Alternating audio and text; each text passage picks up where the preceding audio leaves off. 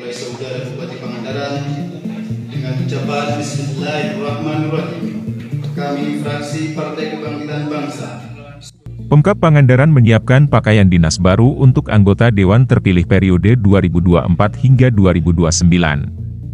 Total anggarannya mencapai 371 juta rupiah lebih, yang dianggarkan dari APBD Pangandaran 2024. Jika dibagi 40 anggota DPRD Pangandaran terpilih, masing-masing mereka mendapatkan anggaran senilai Rp9.286.134. Dari informasi yang didapat, pakaian dinas DPRD yang akan dibelanjakan yakni, PSH, PDH, PSR, pakaian khusus hari, hari tertentu, pakaian adat, dan pakaian dinas setuan.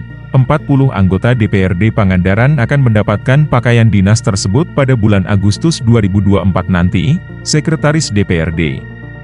Pangandaran, Heri Gustari membenarkan, 40 anggota DPRD Pangandaran terpilih akan mendapatkan pakaian dinas baru. Satu anggota DPRD, masing-masing akan mendapatkan lima jenis pakaian dinas untuk digunakan selama menjabat. Lima jenis yang akan dibuat. Nilainya sekitar 371 juta rupiah untuk 40 orang, ujar Heri.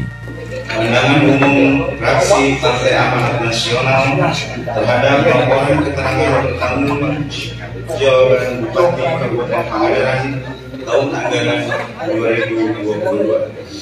Bismillahirrahmanirrahim. Assalamualaikum warahmatullahi wabarakatuh. Waalaikumsalam warahmatullahi wabarakatuh.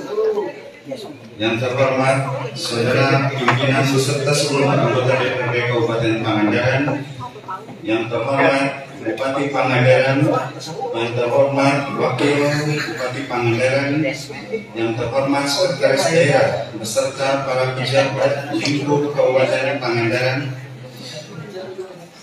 yang terhormat unsur forum pimpinan daerah, hadirin tamu undangan yang berbahagia.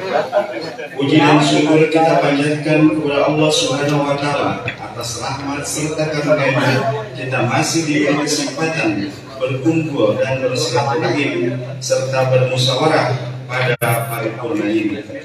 Download Tribun X sekarang. Menghadirkan lokal menjadi Indonesia.